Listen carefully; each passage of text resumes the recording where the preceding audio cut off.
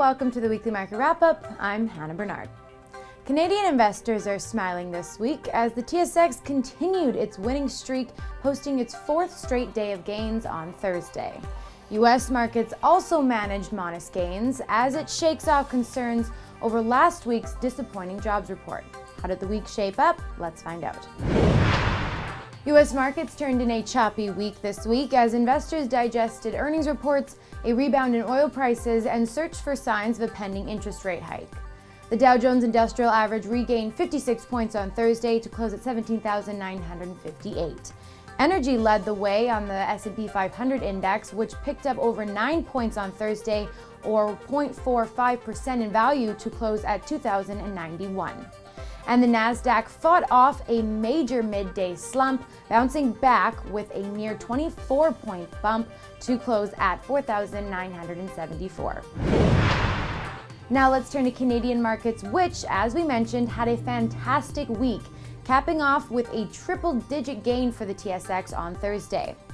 The TSX delivered solid straight gains all week and finished on Thursday with a 112 point leap to close at 15,326.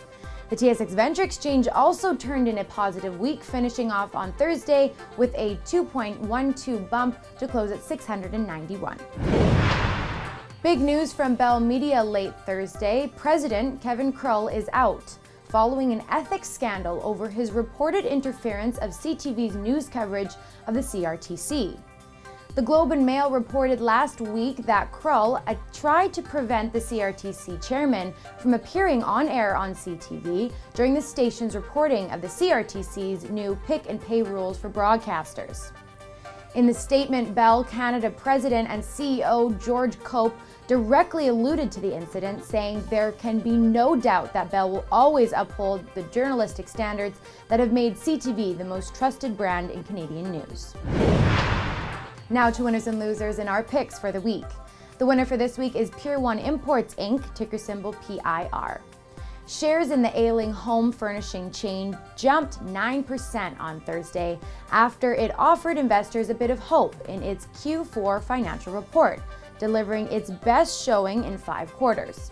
Pier 1 picked up $1.14 a share to close at $13.79. The bump comes on word that Pier 1's investment into its new e commerce platform is finally set to pay off. The loser for this week is Zynga Inc., ticker symbol ZNGA. Shares in the iconic social video game maker plunged nearly 18% on Thursday, following the return of Zynga founder Mark Pincus as CEO. Investors reacted sharply to the abrupt change in command announced late Wednesday. The move is bringing back bad memories about the problems that prompted Pincus to step down as the company's leader nearly two years ago. With Pincus at the helm, Zynga lost more than 600 million in 2011 and 2012 as its signature Facebook game Farmville fell out of favor. That's enough about this week. Now let's turn to BayStreet.ca's look at the week ahead and the snapshot of what analysts are forecasting for companies whose earning reports are coming out next week. Here are three U.S. stocks to watch. First up on Tuesday is Intel Corp with an EPS forecast of 40 cents compared to 38 cents in the prior year quarter.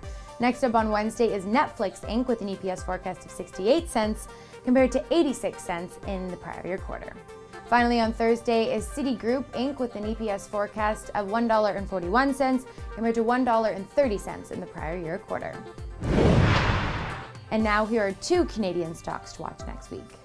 Up on Tuesday is Performance Sports Group Ltd. with an EPS forecast of 9 cents compared to a loss of 11 cents in the prior year quarter. And also on Tuesday is Shaw Communications Inc. with an EPS forecast of 9 cents compared to 40 cents in the prior year quarter. And that wraps it up. Thanks again so much for joining us for another weekly market wrap up. Before you head out for the weekend, make sure to subscribe to our YouTube channel or podcast on iTunes and find us on Facebook and on Twitter.